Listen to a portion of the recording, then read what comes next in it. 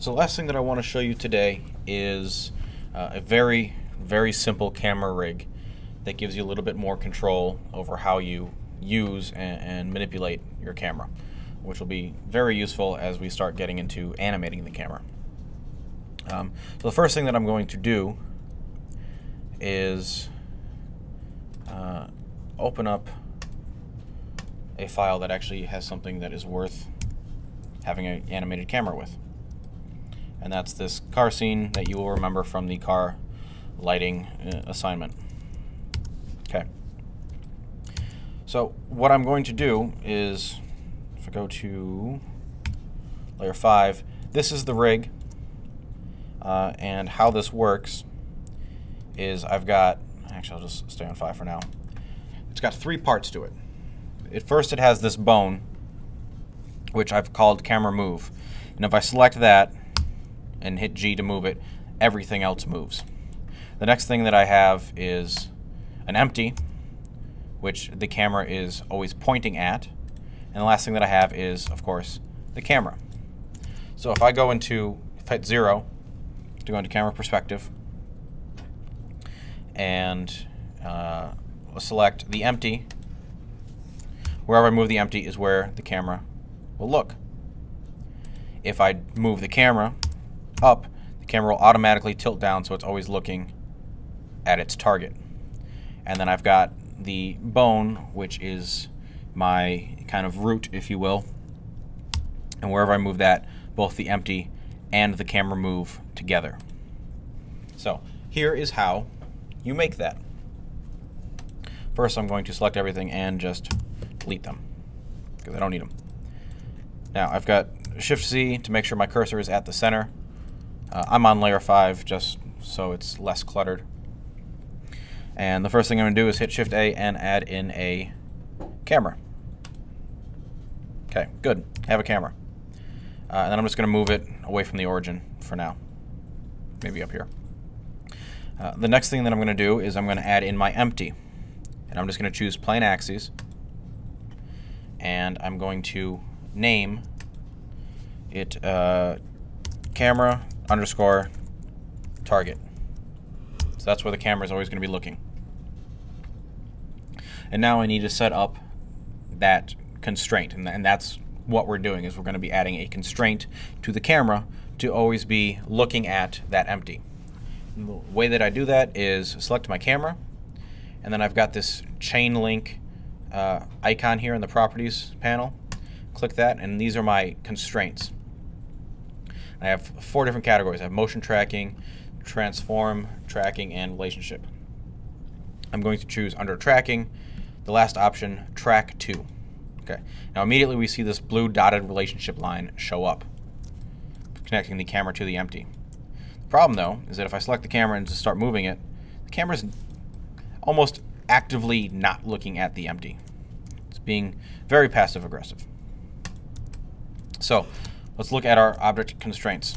First of all, we need to tell it what the target is. Uh, and uh, camera target, because that's what we call it. Now if I move it around, it rotates according to the empty, but it's not pointing the right way. So now we have these options To and up. So if I set the 2 to negative z and the up to y, now the camera is looking at the empty always. And if I go to camera view and hit G to move the camera around, I can confirm that yes, in fact, it is working. I can also move the empty around and still the camera follows it. Okay, I've got a few other options uh, with world space versus local space uh, and also influence. So I could have the empty only partially influence the camera's rotation if I wanted to. Um, but for now and for this simple camera rig, I'm just going to leave it just like this. And uh, oftentimes, this is where I stop with my camera rigs. I don't usually need a whole lot of control. I don't do a whole lot of camera animation in general. Uh, it's more for still renders. But this is a very uh, viable camera rig because if I turn on layer 1 as well, I can set my empty to, let's say, the front of the car, And then I can move my camera from top view to over here, make sure my empty is actually at the front of the car. Okay. And now my camera will always look at the front of the car no matter where it is. Um, so this can be a really easy way to adjust your composition. Um, also, if you have this target set up that way, if I select my camera and go to my camera options, under the depth of field section, I have a focus object. So I can choose the object that will be the focus of the camera. So I can choose camera target, and now automatically whatever the camera is looking at will also be whatever the camera is focused on. This is very useful, uh, especially later on when we get into rendering and actually manipulating the depth of field. Okay, now I'm going to go back just to layer 5 so I have just my camera and my empty. Um, and I'm going to uh, hit Shift S and selection to cursor to bring the empty back to the center. Uh, and now I'm going to add in one more object just so that if I want to move both of them, I only have to select one object and they just both automatically follow. So I'm not hunting through a busy scene for both objects. Um, I can just select the one uh, in the outliner. So I'm going to hit Shift C to make sure my cursor is centered and then Shift A, add an armature, single bone. Okay. We haven't worked with bones yet, so follow along closely um, and you won't get lost. First thing I'm going to do, in my um, armature settings here, which is this little stick figure dude, under display, I'm going to choose bone. Uh, and I'm going to hit tab to go into edit mode. I'm going to select my bone, and I can't remember what the key command is.